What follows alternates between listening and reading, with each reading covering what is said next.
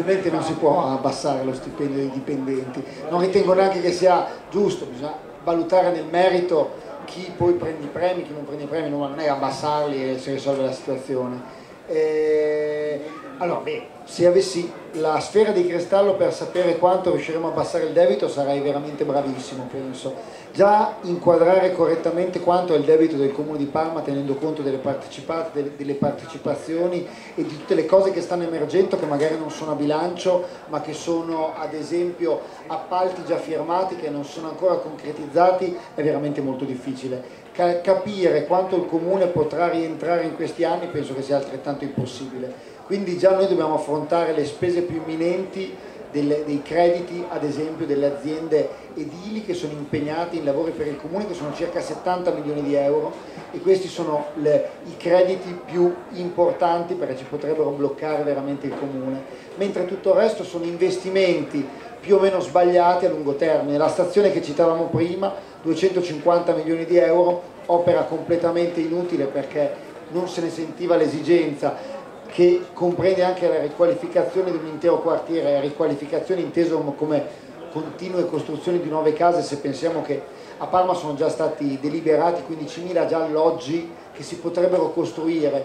tenendo conto che abbiamo un sacco di alloggi invece sfitti, anche qua inizieremo un lavoro di censimento per quanto riguarda gli alloggi vuoti, proprio per capire quanto sia la necessità di costruirne altri, ma soprattutto come si potrebbero abbassare gli affitti tenendo conto che ci sono un sacco di appartamenti vuoti che magari vengono tenuti vuoti per alzare, per gonfiare quello che è il costo degli affitti mensili. Quindi è difficile stabilire questo. Per quanto riguarda il treno, magari fosse di competenza comunale, aggiungerei io, al di là che i soldi non li avremo comunque, ma se pensiamo che adesso hanno bloccato anche il raddoppio della linea Parma, eh, Parma Pontremoli che comunque anche qua serve tutta la montagna di Parma. Hanno bloccato l'ultimo pezzo quindi adesso fino a metà è doppio binario e poi binario singolo fino a Parma. Pensiamo quali sono gli investimenti italiani nelle infrastrutture quando nella stessa Emilia Romagna vediamo la Tirreno Brennero che è una strada inutile che non ha i soldi per finire quindi finirà in un paesino e non continuerà per dove deve andare perché non ci sono i fondi. E l'altra?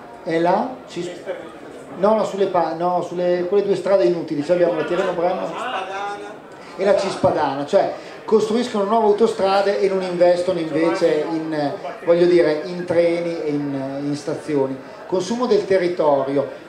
in un comune dove non si costruisce più niente perché negli ultimi anni hanno costruito tutto, se pensiamo che il rapporto tra eh,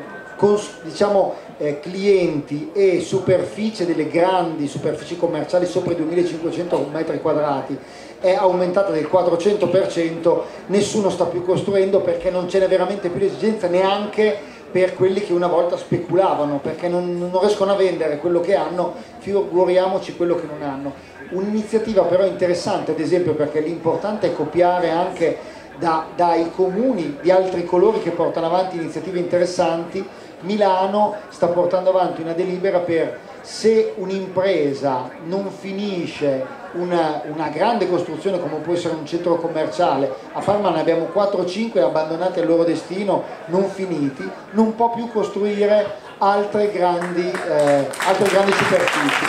Questa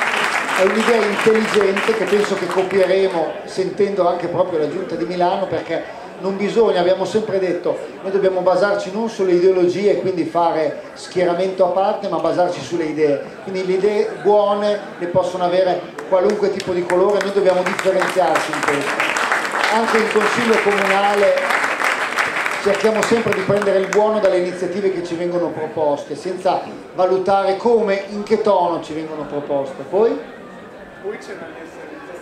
L'esternalizzazione della signora, adesso poi glielo passo, ma così andiamo di là. L'esternalizzazione, io non ho detto che le esternalizzazioni sono positive, anzi, ho detto che proprio nell'esternalizzazione abbiamo visto quello che è una riduzione degli stipendi dai dipendenti comunali ai dipendenti delle, chiamiamole cooperative, delle grandi cooperative nazionali. Però anche in questo noi non possiamo immaginarci che il comune possa sopperire a tutto. C'è stata una polemica a Parma perché quando si passa dalla parte del governo governo nel senso del governo di una città, secondo me la mentalità deve un po' cambiare rispetto a quella dell'opposizione, se no rimaniamo sterili come gli altri. A Parma ci hanno criticato che un numero che era già stabile da anni, cioè che eh, 800, c'erano 800 posti mancanti per quanto riguarda nidi e scuole materne, era colpa del comune, era ovviamente colpa nostra, come se in passato ci fossero stati più posti disponibili, mentre quest'anno sono cresciuti non per merito nostro, perché siamo appena arrivati, del 5% la disponibilità di posti. Però il comune non ha né i mezzi né la possibilità più di assumere perché sono state bloccate tutte le assunzioni per patto di stabilità, per il fatto che ovviamente negli anni è stato assunto chiunque, quindi se vogliamo dare più servizi per quanto riguarda i cittadini, come dobbiamo fare? Cioè poniamoci delle domande anche in un senso critico, differenziamo tra quello che è lo sfruttamento dei lavoratori a quello che è dare servizi che il comune in questo momento per le risorse disponibili dello Stato, della Regione che sono sprecate dai parlamentari, che sono sprecate no, per inutili, cioè tagliando tutto quello che ovviamente potremmo fare ma come dobbiamo rispondere? Cioè non si può solamente essere contro, bisogna anche trovare una soluzione che sia fattibile per i comuni. Quando avremo ridotto gli sprechi potremo fare veramente una politica virtuosa, ma nell'immediato, come dicevano prima, dobbiamo comunque rispondere con i mezzi che abbiamo a disposizione. Quindi non bisogna fare della facile demagogia, ma anche rispondere a quello che ci chiedono i cittadini tutti i giorni. Eh. Dire qualcosa brevemente gli altri?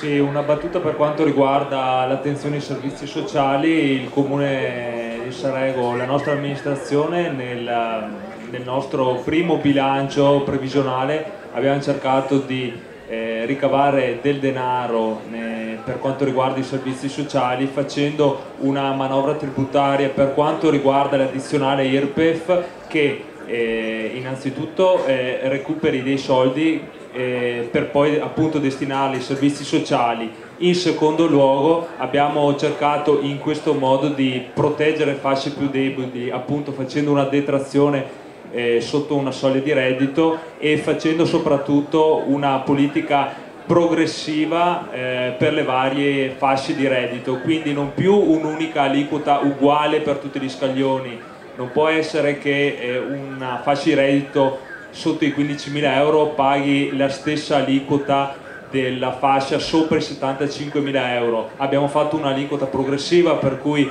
eh, i redditi sotto i 15.000 pagano una percentuale che è più bassa della, dei scaglioni superiori